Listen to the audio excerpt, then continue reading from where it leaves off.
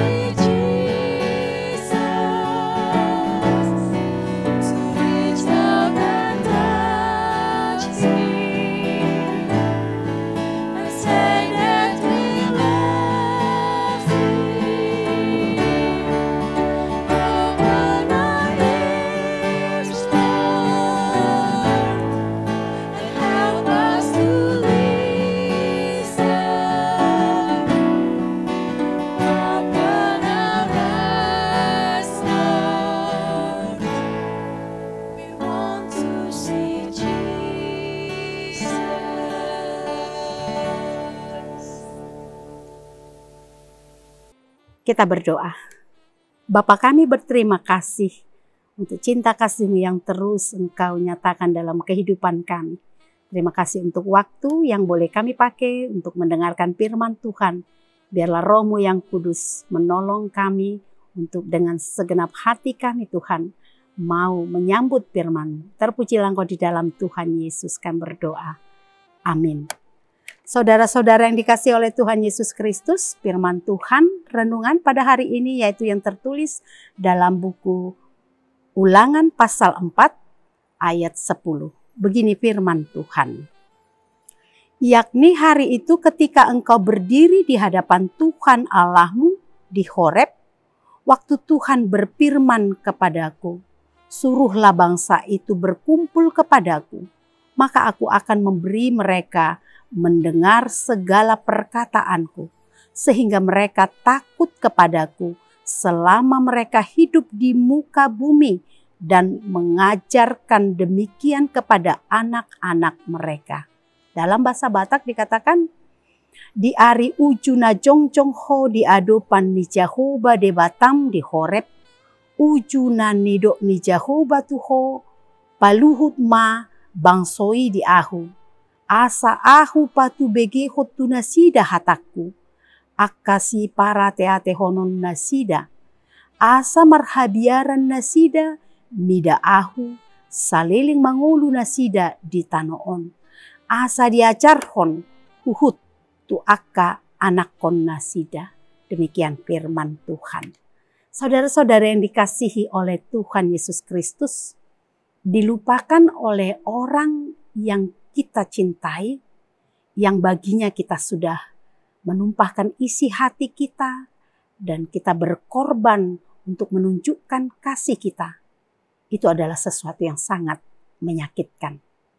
Betapa menyakitkan bagi seorang ibu, seorang orang tua yang dilupakan oleh anaknya sendiri.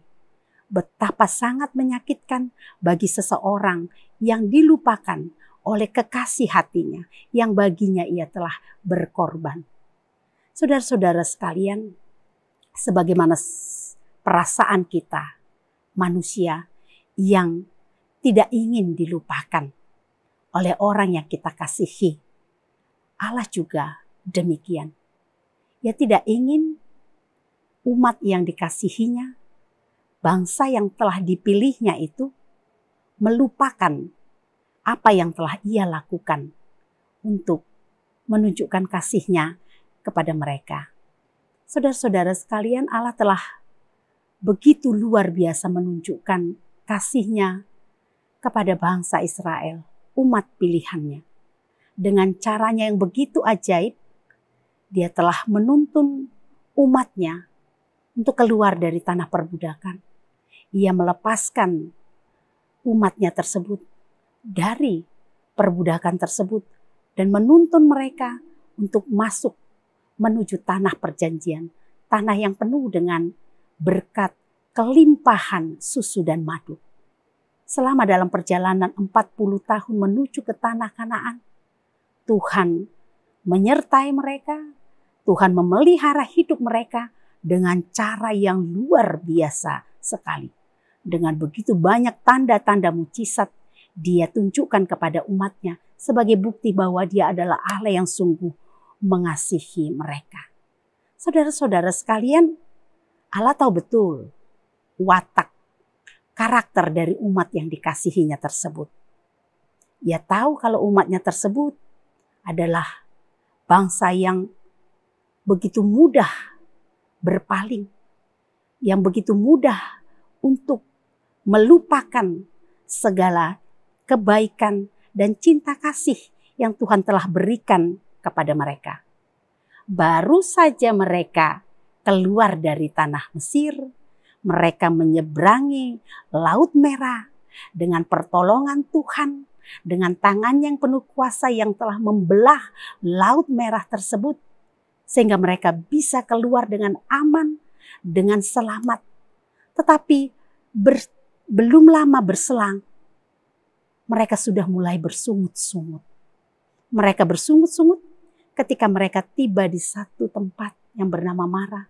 Di sana mereka menemukan air yang rasanya pahit. Dan keadaan itu membuat mereka mulai bersungut-sungut, protes kepada Tuhan. Namun Tuhan begitu luar biasa sabar. Dan Tuhan menunjukkan kuasanya dengan mengubah rasa air tersebut supaya mereka bisa meminumnya.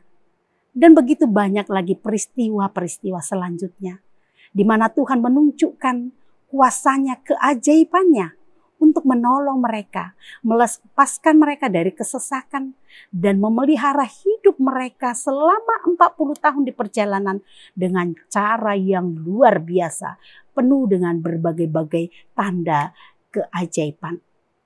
Tetapi mereka terus mengulangi sikap yang selalu bersungut-sungut.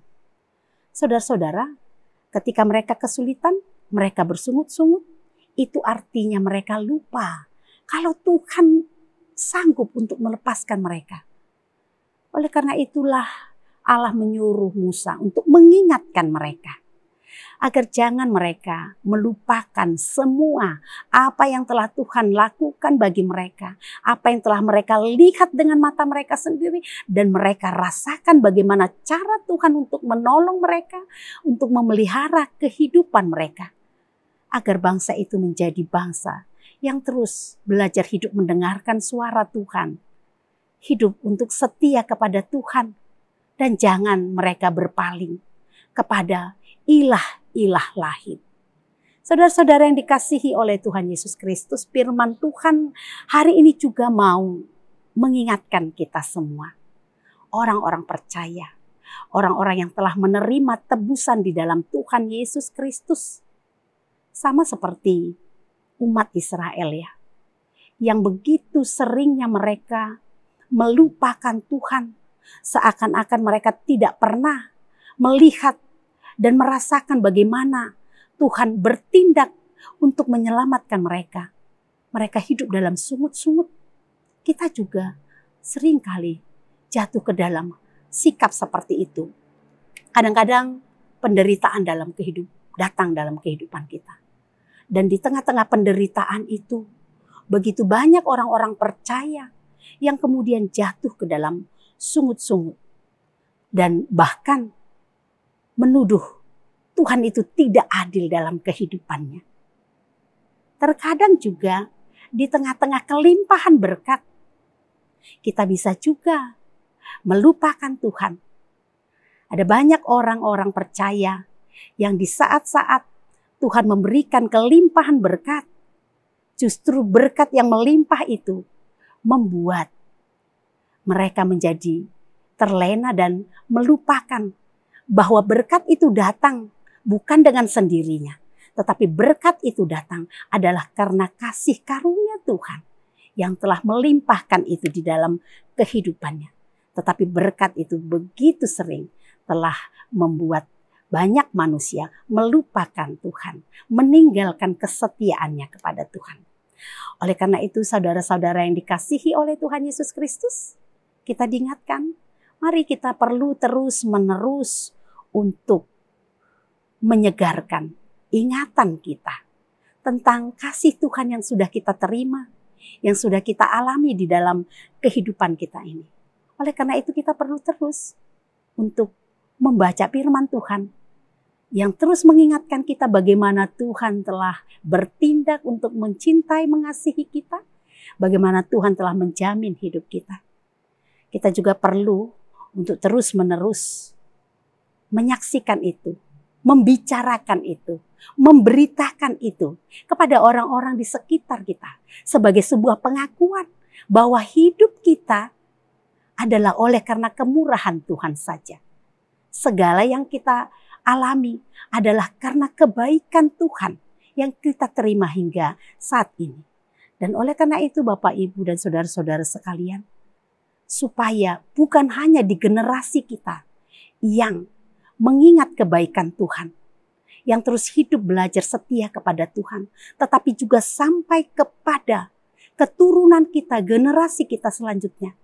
Tuhan mau supaya setiap orang-orang percaya juga mengajarkan, menceritakan itu kepada anak cucunya.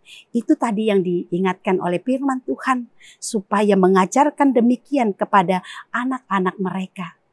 Firman Tuhan mau supaya pujian kepada Tuhan dan juga kesetiaan kepada Tuhan itu berlangsung terus-menerus dari generasi ke generasi.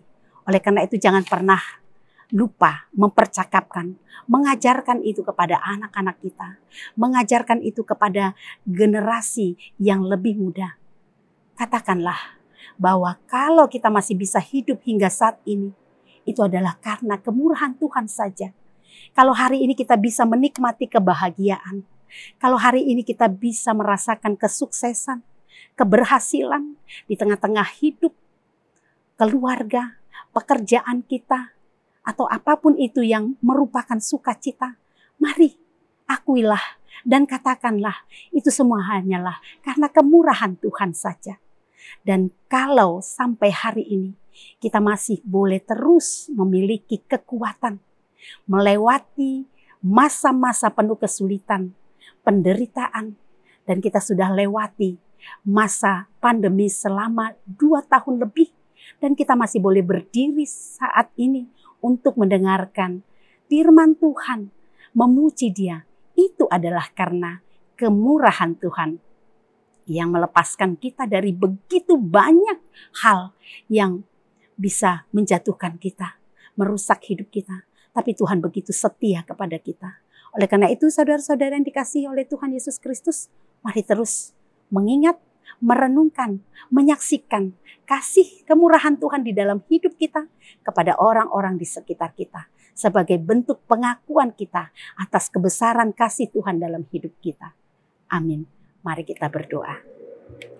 Bapak terima kasih untuk cinta kasihmu yang begitu besar yang engkau telah nyatakan dalam kehidupan kami hingga saat ini.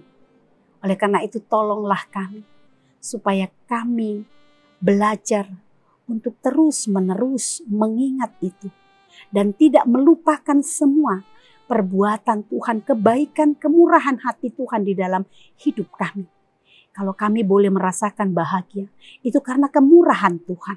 Kalau kami masih boleh berdiri tegak di tengah-tengah badai kehidupan yang kami lewati, itu juga karena kemurahan hati Tuhan yang menopang kami.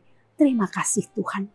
Ajar kami untuk terus mempercakapkan, menyaksikan kebaikan kemurahan-Mu yang sudah Engkau berikan kepada kami. Dan yang terbesar adalah cintamu di dalam Tuhan Yesus Kristus yang telah menyelamatkan kami.